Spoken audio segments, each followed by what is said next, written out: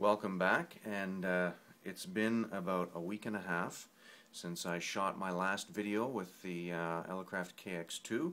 As you can see here, it's all complete, and um, I did mention in the last video that the uh, roofing filters had to be calibrated. Now, when I looked further into it and uh, posted up on my blog that that was my next step, I had some uh, ham radio operators who have the KX3 uh, email me saying that the roofing filter no longer has to be calibrated. It's been done at the factory.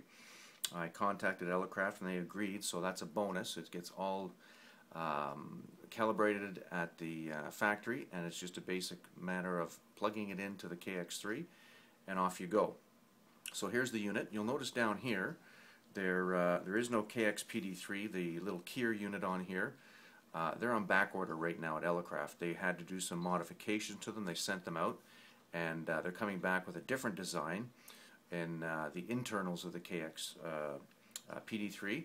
And I just talked to Elecraft today, and that should be shipped out to me within the next week or two. Also on the side here, what they recommend is you got your BNC connector here coming out the side of the radio. Elecraft recommends getting the 90 degree bend here so there's not much stress put on the the uh, BNC connector that's on the radio. So it's on a nice 90 degree angle. It swivels back and forth with the coax attached. Also on here I've got my power supply hooked up and my um, USB cable hooked up to the computer. So I have computer control of the radio as well. Now let's just go over here, push these two buttons and turn it on.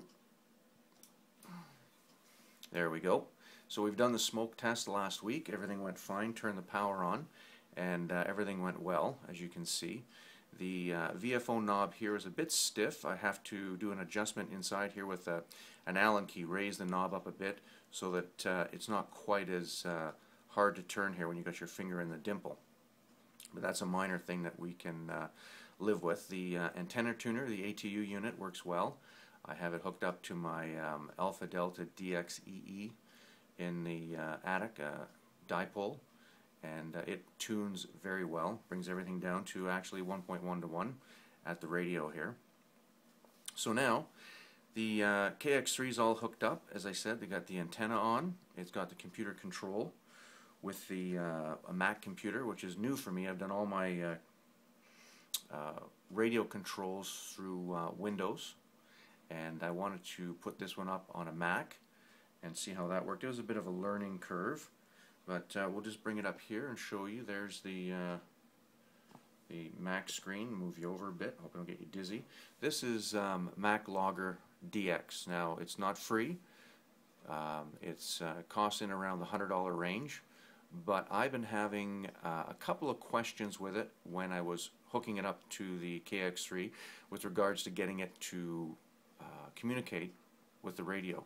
And the fella Don, who owns the uh, MacLogger software, got back to me literally within five minutes each time I asked a question um, on the reflector with the information. And now it's up and running, so I can more or less I have a all of my cluster spots here.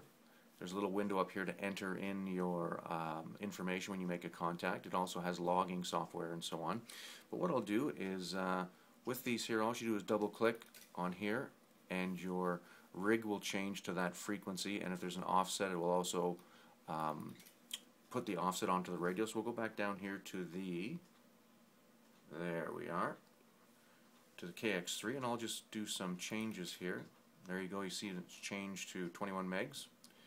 Um, we'll go back over, let's say here to uh, 30 meters. And there you go. So you see you got rig control with the Mac program, uh, Mac Logger DX. Now, it is a learning curve for me, and I haven't got all the options on the KX3 sorted out yet, or on um, the Mac Logger Mac program. But up to this point, everything in the, the rig's working fine. Just got to start reading the manual. But thanks very much for watching all these videos. And uh, if you have any questions, email me at ve3wdm at hotmail.com. We'll see what we can do, and uh, I'm going to produce a few more videos about the KX3 in the future with some of the um, options and some of the things it can do, but first I just have to learn what it can do. Well, thanks very much for dropping by and for checking out the video. Have a good day.